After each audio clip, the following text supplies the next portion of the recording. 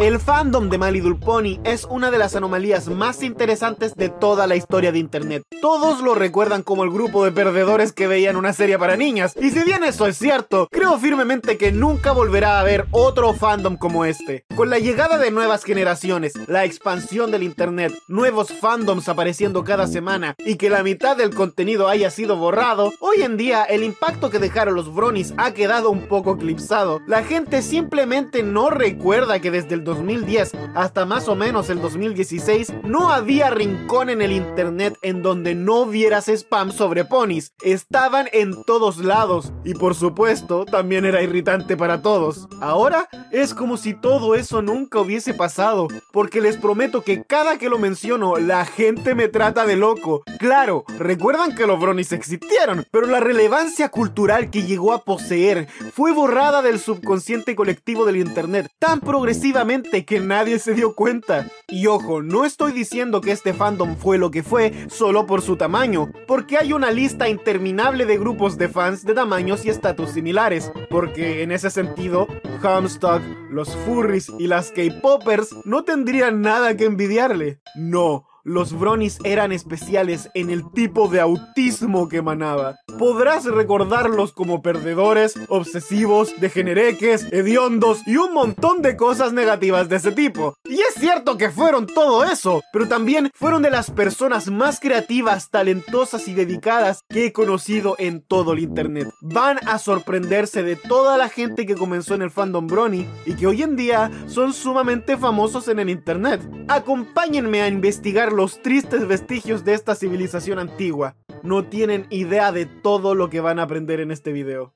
Pero antes, hablemos de Honeygain, la aplicación que te permite obtener un ingreso adicional simplemente teniéndola instalada en tu PC o celular. Claro, es solo un ingreso extra, así que no esperes hacerte millonario, este es el mundo real. Pero con Honeygain puedes ganar suficiente dinero para cubrir gastos como suscripciones a Netflix, Spotify, Disney Plus, o por qué no, un super gracias para este video que me quedó chistoso. Es una aplicación muy útil, la descargas, te registras, la usas y empiezas a ganar dinero de forma completamente segura que puedes retirar a través de PayPal y ni siquiera afecta la velocidad de tu internet. Y lo mejor de todo es que si usas el código DERKER que te voy a dejar en la descripción, podrás ganar 5 dólares de forma completamente gratis.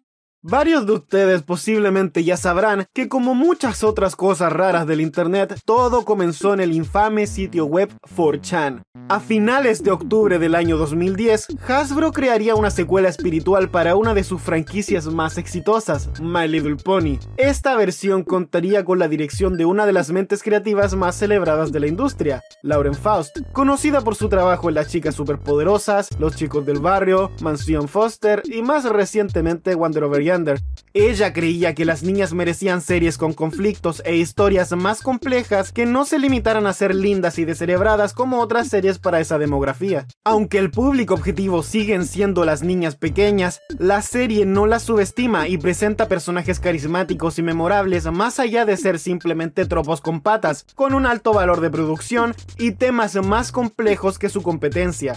Algo así como lo que estamos viendo hoy en día con Bluey. Por supuesto, explicar que ves Bluey es mucho más fácil de lo que era explicar que ves My Little Pony, pero ya llegaremos a eso. Lo importante que tienes que sacar de lo que acabo de decir es que esta serie de caballos de colores era más de lo que parecía ser, y eso mismo fue lo que pensaron algunos usuarios de 4chan en esa época. ¿Qué lleva a un montón de adultos a volverse fans de una serie así? La respuesta siempre ha sido un poco compleja. Siempre que le preguntabas esto a un Brony, la respuesta siempre era insatisfactoria porque lo cierto es que aún con todo lo que dije, la serie no tiene ni jamás tuvo algo que ameritara un fenómeno a esta escala. En una entrevista a un Brony cualquiera hecha por el sitio web Wired se cita lo siguiente. Primero, no podíamos creer que la serie fuera tan buena. Luego, no podíamos creer que nuestros amigos no la habían visto todavía. Y luego, no podíamos creer que ellos también se estaban volviendo bronis. Como nota aparte, me encanta como la foto de este man es solo él parado al lado de exactamente dos figuras de la serie. Ni más ni menos. Si me lo preguntan a mí, yo creo que fue una combinación de varias cosas, en las que se pueden incluir el contexto social de la época, la novedad y un efecto bola de nieve. Pero principalmente creo que la respuesta es tan sencilla que la podemos encontrar en una cultura que ya conocemos muy bien. Estoy hablando, por supuesto, de la cultura otaku. ¿Por qué un fan del anime querría ver una serie de niñas bonitas haciendo nada más que ser bonitas en lugar de ver algo más interesante? La respuesta es porque los hace felices. Después de un día de mierda en una sociedad tan exigente y cuadrada como lo es la japonesa, escapar de la realidad viendo las vidas sencillas de monachinas es relajante. De la misma forma, ¿por qué alguien querría ver una serie de ponis? Porque los hace felices. Eso es todo.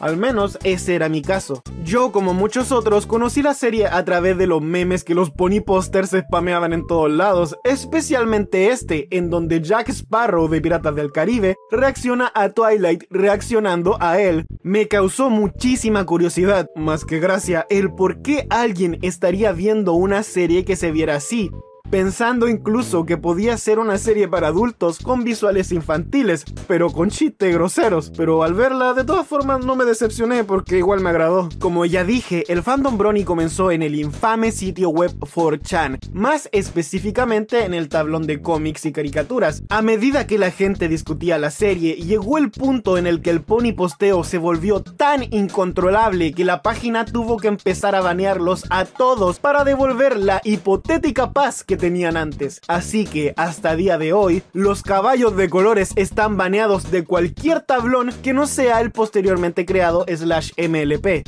Al mismo tiempo que esto pasaba, también se crearon dos otros sitios importantes para la época. Una fue Ponichan, el cual fue creado como respuesta a la guerra interna que hubo en 4chan, y el otro fue Equestria Daily, el cual, sin lugar a dudas, fue el sitio web más importante para el fandom. Equestria Daily era la base para los bronies. Aquí podías encontrar noticias, fanfictions, fanarts y básicamente cualquier cosa relacionada al fandom. Incluso publicaban links a los capítulos para verlos online, lo cual era muy útil en esos tiempos. El sitio web se hizo tan popular que todos se peleaban por aparecer en un artículo, lo cual era un paso crucial para saltar a la fama en el fandom o como se le llamaba en ese tiempo, Horse Famous. Porque sí, aunque no lo creas, dentro del fandom Brony había influencers, ya fueran ilustradores, youtubers, escritores de fanfictions e incluso músicos. El fandom tenía de todo. Y no me malentiendan, no eran solo populares. Cuando digo famosos, lo digo con todo el peso de la palabra, eran celebridades. Tanto así que en las convenciones a la gente caballo famosa se les trataba como estrellas de Hollywood, teniendo que ser incluso reguardado por guardias por la cantidad de fans que se amontonaban a su alrededor. El fandom Brony fue oficialmente reconocido por primera vez a través de una parodia de California Girls, transmitida en el canal de Hub, en donde Pinkie Pie, uno de los personajes de la serie, en una parte grita Vamos Bronies.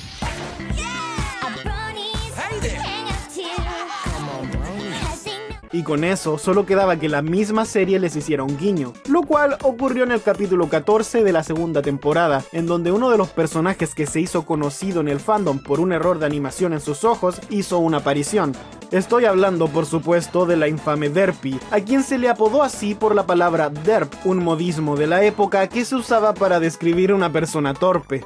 Esto desafortunadamente ofendió a muchas personas porque la mezcla de ojos desorbitados, torpeza, descuidos y voz grave hizo que muchos padres creyeran que se estaban burlando de la gente...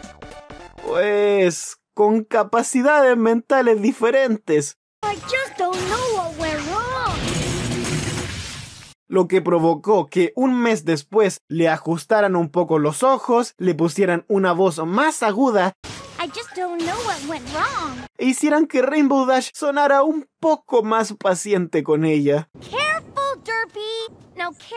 Lo cual es adorable de cierta forma. Espera un momento. Acabo de notar algo. Este pibe no está suscrito. ¡Qué rabia! Aprieta ese botón para volverte un 20% más genial instantáneamente. En cuanto a la exposición a los normies, en realidad la impresión siempre fue negativa. Los Bronies fueron y siempre han sido percibidos como inadaptados y perdedores, lo cual nunca fue mentira, pero seguía siendo grosero. Los medios siempre retrataron al fandom Brony como una novedad, tipo, miren a estos adultos fans de una serie para niñas, ¿no creen que es algo raro? Y no es que no se lo tuvieran merecido, claro. Recuerdo cuando en el ahora decadente canal de reacciones React pusieron a un grupo de adolescentes a reaccionar a la serie y a los Bronies. Su respuesta fue la de todo el mundo al enterarse del fenómeno. It's kind of a disgrace to us. That's like a slap in the face. If you're a guy and you watch My Little Pony, you're technically shouldn't be allowed to be called a man. Así que como todos los videos de ese canal, levantó una controversia bastante grande, sobre todo entre los mismos fans de las burras, quienes reaccionaron a sus reacciones explicando por qué no dan tanto cringe en realidad. El que más me da risa es este con unos bronis que fueron a la milicia. ¿Cómo vamos a dar cringe si tenemos a este brony con barba muy masculino en el fandom, ah? Ese era un problema sumamente presente en el fandom, el cual era ser extremadamente defensivos e inseguros con su masculinidad y heterosexualidad. Y no lo estoy diciendo en el sentido progre. Se abanderaban de romper normas de género y toda la cosa, pero al momento de que alguien les dijera gay, se caían a pedazos y actuaban como si serlo fuera la peor cosa que podían llegar a ser. old fat gay, you know, gay men that only watch the show. But he says the stereotypes are not true. Era un poquito patético, pero muchos Zoomers no terminan de entender lo diferentes que eran las cosas en los años 2010. Todos sabían que ser gay no tenía nada de malo, pero todavía no se ponía mucho en práctica. Incluso estaba toda esta propaganda de que la única generación de My Little Pony válida era la actual, y todas las anteriores eran gays, cuando ahora se sabe que la primera generación era jodidamente brutal. Por mi parte, recuerdo que para que no pensaran tan raro de mí, siempre usaba imágenes de ponis enojados y super edgys para hacer ver la serie como algo más de lo que era. Ay. Buenos tiempos. Horribles, pero buenos. Pero todo ese odio y condescendencia por parte de los Outsiders no hizo más que atraer a todavía más gente, porque después de la segunda temporada, el fandom explotó en popularidad, con la cuarta edición de la Bronicon pasando de 300 personas asistiendo a más de 4000. Muchas de las personas que reaccionaban negativamente a la serie terminaban por sentir curiosidad al final. Es más, graciosamente, uno de los adolescentes que reaccionó a la serie en el video que mencioné antes, en un video posterior apareció vistiendo una playera de Rainbow Dash, sin mencionar la enorme explosión de contenido hecho por fans sobre la serie. Son muy pocos los fandoms que pueden presumir del nivel masivo de contenido generado por sus miembros. Y esa es una de las cosas que lo volvieron tan especial. Claro, quizás tu fandom tenga animaciones, muchos dibujos bonitos y un montón de fanfictions, pero muy probablemente no a la misma escala ni al nivel de dedicación que los artistas Bronies le daban a su comunidad. Animaciones tan buenas que parecían sacadas de la serie, fanfictions tan largos que literalmente llenaban libros enormes, ilustraciones tan bellas que podían ser enmarcadas, videojuegos tan divertidos que se veían profesionales y las canciones tengo que hablarles de la música Brony. No eran solo un par de canciones, no eran solo un par de personas, era todo un movimiento. Cientos de usuarios dedicados casi exclusivamente a la música de My Little Pony.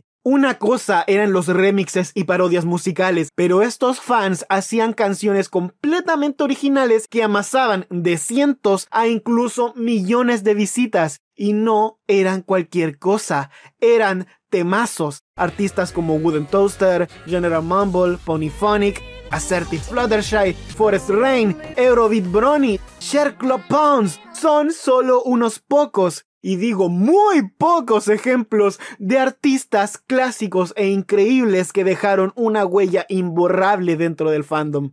Y bueno, quizás si tú no fuiste Brony en esa época, esos nombres no signifiquen nada para ti, pero quizás si reconozcas a, por ejemplo, Aviators con canciones como No One Will Save You o Sweet Dreams. O quizás conozcas al usuario Black Griffon, con videos de hasta 138 millones de visitas en los que imita a diferentes cantantes usando solo su voz. Pero si hay alguien que estoy 100% seguro que vas a reconocer, es a The Living Tombstone. Como Brony, fue el creador de remixes como Discord y Gypsy Bard, y canciones originales como September. Pero para la gente fuera del fandom, él fue el músico detrás de las canciones más icónicas de Five Nights at Freddy's, Baldi's Basics y muchas otras canciones que se hicieron virales en TikTok.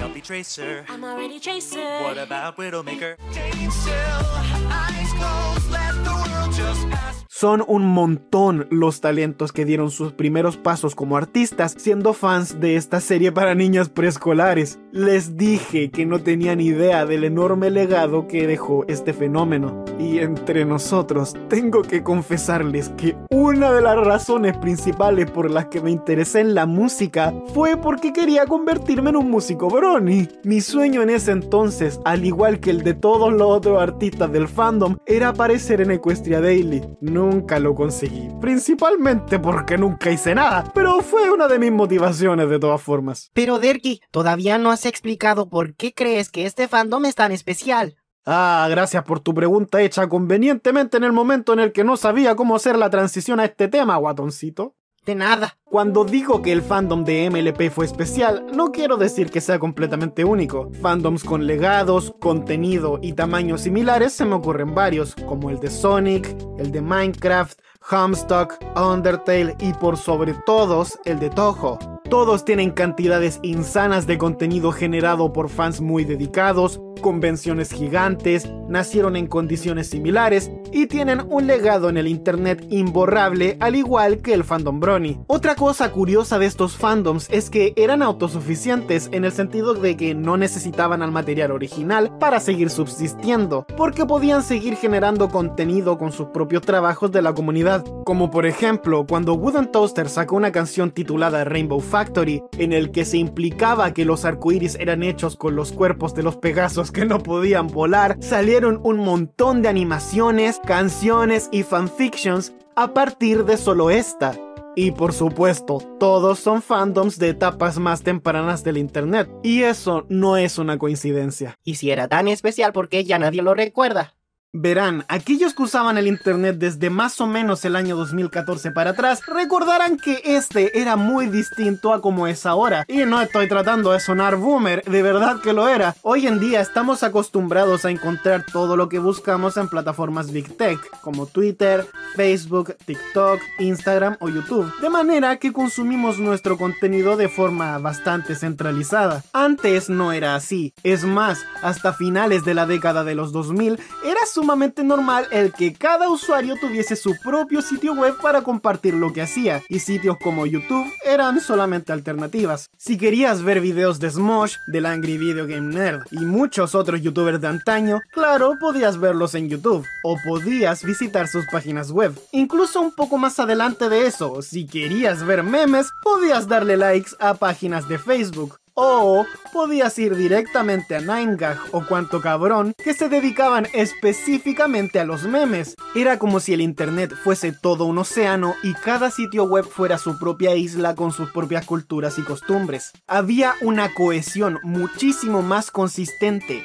un tipo de orden que solo se consigue con ese tipo de caos, lo que le permitía a los usuarios saber exactamente qué iban a encontrar en cada una de esas islas. ¿Quieres encontrar las últimas noticias del fandom? Ve a Equestria Daily. ¿Quieres leer fanfictions de My Little Pony? Entra a Finfiction. ¿Quieres encontrar y subir arte de la serie? Para eso está Derpivoru. Y es que la lista es interminable. Ponle atención a estos. Un Facebook exclusivo para los Bronies. Un Twitch para transmisiones relacionadas a la serie. Una página para escuchar música Brony. Y sin mencionar los incontables foros como Whitetail Woods y friendshipismagic.org. Era una locura, pero lo verdaderamente genial de esto es que a pesar de que todos vivían en sus propias islas, todas estaban conectadas de alguna misteriosa manera. Si algo ocurría en una página, todo el resto se iba a enterar e iba a pasar días hablando del tema. Es por la forma en la que funciona el Internet ahora que es muy improbable que algo como el fenómeno Brony vuelva a ocurrir. Y bueno, ¿qué fue lo que pasó entonces? ¿Por qué ya nadie recuerda eso? Porque todos los sitios que te acabo de nombrar dejaron de existir. El tiempo pasó y la gente empezó a crecer y olvidar la serie. Eso es natural, lo que provocó que ya no valiera la pena mantener los dominios ni moderar todos esos foros. Y eso sin mencionar a aquellos usuarios que más tarde crecieron para avergonzarse de lo que fueron y decidieron borrarlos a propósito. ¿Recuerdas todos los músicos bronis de los que te hablé antes? Muchos de ellos decidieron borrar sus canales o privatizar canciones porque les daba vergüenza. Hace poco estaba viendo un canal de YouTube que se dedica a archivar canciones perdidas del fandom. Y me sorprendió ver música ahí que vi en su momento cuando salieron. Fue algo triste. También podemos mencionar a la muerte de Tumblr como un enorme factor en la desaparición de la mitad del fandom. Si bien Tumblr sigue funcionando, muchos blogs fueron borrados tanto por sus propios usuarios como por la misma página, aunque ya hemos hablado de eso antes. Y no nos podemos olvidar del mismísimo Hasbro, la empresa detrás de la serie y su mercancía. Hasbro odiaba a los Bronies, pero le gustaba mucho su dinero, así que siempre tuvo esta relación complicada con ellos. En un segundo los podía celebrar y darle fanservice en la serie, pero en otro los atacaba y amenazaba legalmente, algo así como Nintendo, pero un poquito menos bipolar. El fandom podía crear juegos increíbles y geniales o animaciones espectaculares y Hasbro directamente los cancelaba, como el caso de Buttons Adventures, serie de cortometrajes hechas por el usuario Jan Animations, que Hasbro canceló porque simplemente eran demasiado buenas y podían confundirse con la serie original, haciendo que ya no sea visible por métodos oficiales. O Fighting is Magic, el cual era un juego de peleas que se veía alucinante y extremadamente profesional para solo estar en beta, por suerte, esta historia tiene un final feliz porque Lauren Fast, la misma creadora original de la serie, se ofreció a crear diseños de personaje legalmente distintos para que pudiesen continuar con su proyecto, el cual más de seis años después vería la luz transformado en Them Fighting Hearts. Y como último clavo en el ataúd está el cambio de políticas en YouTube. Si te metes a muchos videos legendarios del fandom, podrás notar que la mayoría están marcados como contenido para niños, lo que hizo que se perdieran todos los comentarios y los videos se dejaran de recomendar. Y esos fueron los que tuvieron suerte, porque muchos otros fueron borrados por el sistema de copyright, perdiéndose más de una década de historia. Es sumamente deprimente. Fue una aniquilación cultural.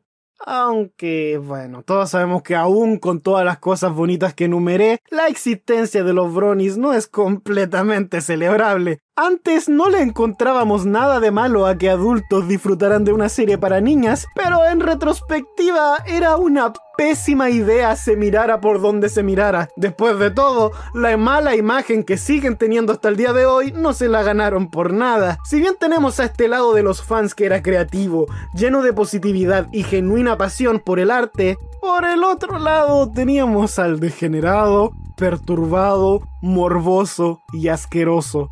Si una niña pequeña buscaba My Little Pony en el YouTube del 2010, no se iba a encontrar con contenido apropiado como clips de la serie o videos de juguetes. Se iba a encontrar con videos de Pinkie Pie golpeando brutalmente a sus amigas, Fluttershy piteándose a Rainbow Dash, Twilight hablando seductivamente y muchos otros videos inapropiados. Era prácticamente imposible querer involucrarse con la serie sin encontrarte con alguna de estas cosas. Y no les estoy exagerando. En redes sociales como Twitter y TikTok, ahora siendo ya adolescentes con capacidad de retrospectiva, muchas personas han relatado sus malas experiencias con el fandom y han contado el cómo mucho de ese contenido les afectó psicológicamente. El que tantos adultos invadieran algo hecho para ser un espacio seguro para menores de edad fue algo que no debería ser ni celebrado ni justificado. Claro, puedes argumentar que es culpa de los padres por no vigilar lo que sus niños ven en el internet. Pero además de que eso siempre me pareció una excusa para no ser responsable, ¿cómo esperaban que un padre de los 2010 sospechara algo malo si ve que su hija solo está viendo videos de ponis en su historial? Nunca volverá a haber un fandom como el de My Little Pony. Pero quizás eso no sea del todo malo. Si te gustó este video, no te pierdas este otro en donde hablo de las fanseries de FNAF HS. Y un cariñoso saludo a Berlín el Oso, Tatoxic LG, Cosmo, Max Chan, El Queso Bacán, Low, Munsitamatsu, Algo en 3D, Mr. Diego Mens y Splatin por ser los miembros gamer de este mes.